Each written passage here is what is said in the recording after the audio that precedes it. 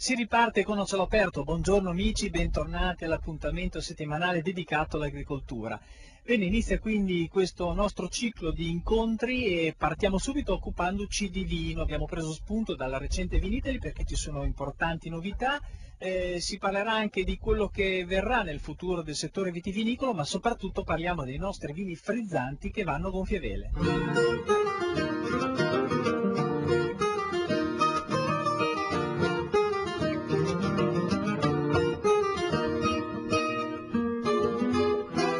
Anche nel 2011 l'Emilia Romagna si è confermata una delle regioni italiane più capaci di rispondere ai mutamenti del mercato vinicolo, realizzando un incremento delle vendite all'estero del 20% in valore rispetto al 2010 e consolidando il già ottimo più 19% messo a segno nell'anno precedente.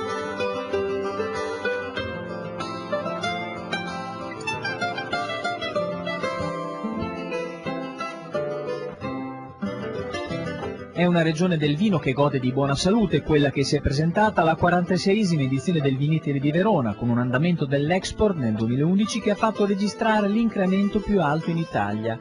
Ma c'è anche la crescente domanda di vini emiliano-romagnoli di qualità DOC, di OCG e IGT e sempre maggiori riconoscimenti delle principali guide nazionali ed estere. Oltre ad un crescente interesse da parte dei consumatori, anche l'arrivo dell'atteso disciplinare europeo sulla vinificazione delle uve biologiche, una conquista importante per i viticoltori bio italiani ed europei che dalla vendemmia 2012 potranno utilizzare il termine vino biologico sulle etichette al posto dell'attuale vino da uve biologiche.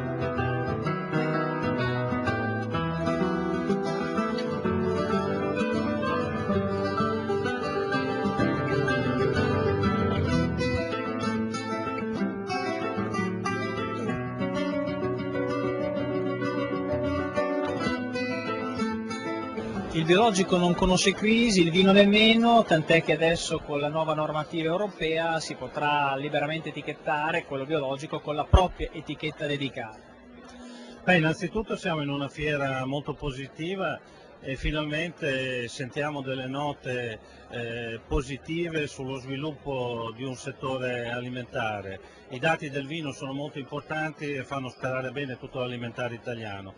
Per noi che lavoriamo nel biologico c'è una nota positiva in più che è stata l'approvazione del regolamento dopo tanti anni, dopo tante discussioni.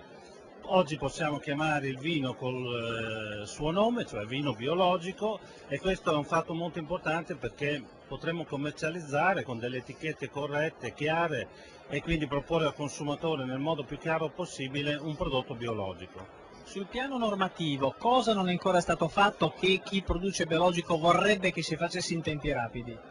Beh, noi eh, speriamo in una pratica, in una veloce attuazione di quanto è stato eh, approvato e quindi mettere in pratica eh, le nuove norme e sperare che con questo eh, il settore possa trarre quei vantaggi che negli anni passati è stato difficile perché potevamo scrivere solo con uve da produzione biologica. Oggi è tutto molto più semplice, quindi noi speriamo solo che questo possa essere fatto in tempi molto rapidi.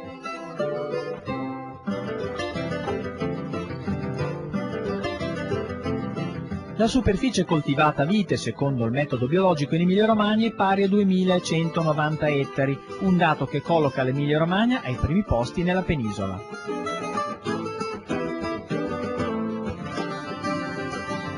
Noi siamo, dati Istat, la sesta regione italiana per produzione di vino biologico. Eh, desidero ricordare che nel, nelle ultime guide del Gambero Rosso è, è un pignoletto dei, dei colli bolognesi eh, ha ottenuto i tre bicchieri, il massimo dei riconoscimenti e si tratta di un vino eh, prodotto con tecniche biologiche bio, biodinamiche, per cui insomma è un mercato che sta crescendo, un mercato importante.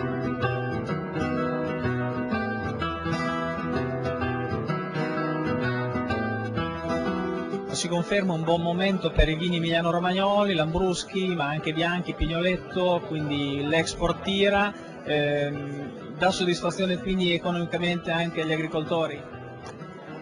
Beh, dovrebbe dare sicuramente maggiori soddisfazioni rispetto agli anni scorsi, i prezzi all'ingrosso sono aumentati e soprattutto è aumentata l'esportazione dei vini sui mercati internazionali, più 20% nel 2011 sul 2010, siamo la regione italiana che è aumentata di più da questo punto di vista in assoluto, quasi 7 punti percentuali in più rispetto alle altre regioni, alla media delle altre regioni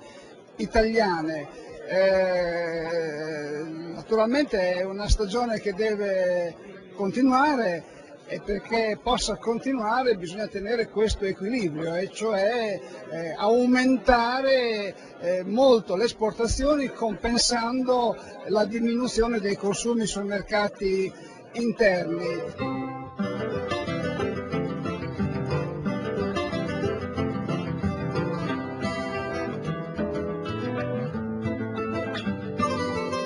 Atto anche una ristrutturazione del patrimonio vitivinicolo emiliano-romagnolo, quindi ci sono stati molti estirpi ma anche molti rimpianti. Questo ringiovanimento insomma, della viticoltura eh,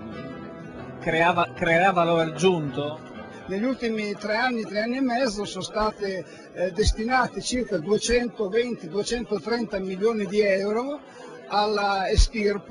estirpo 3.600 eh, ettari di vigneto che non aveva mercato è stato tolto, alla uh, ristrutturazione e riconversione di quasi 4.500 ettari di vigneto e attraverso il programma di sviluppo rurale eh, siamo intervenuti in modo significativo su altri vigneti e soprattutto sulle cantine per modernizzarle eh, perché poi insomma eh, conta la qualità dell'uva ma conta anche la qualità eh, enologica e delle, e delle, e delle cantine.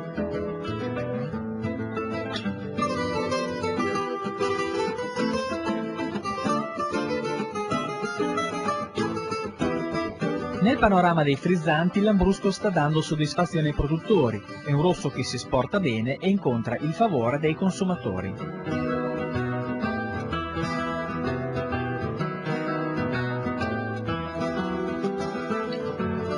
Il Lambrusco tra, tra Modena e Reggio Emilia rappresentiamo circa il 60% delle denominazioni di origine regionali quindi eh, siamo un peso massimo all'interno della regione. Il Lambrusco è un prodotto che sta andando bene, eh, è un vino di successo insieme ad altri importanti vini nazionali, le bollicine incrementano quindi le vendite e il Lambrusco è un campione per le bollicine.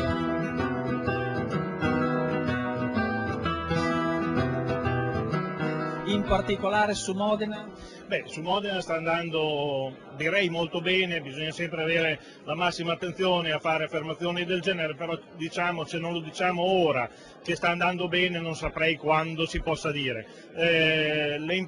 le, esportazioni sono al, al massimo, eh, stanno raggiungendo livelli eh, importantissimi, a livello locale sta andando eh, bene anche eh, diciamo, l'organizzazione interna del territorio sta migliorando, in modo particolare eh, i produttori stanno innovando eh, sui vigneti, eh, nuovi vigneti, nuovi impianti che danno sicuramente una risposta alle, alle cantine.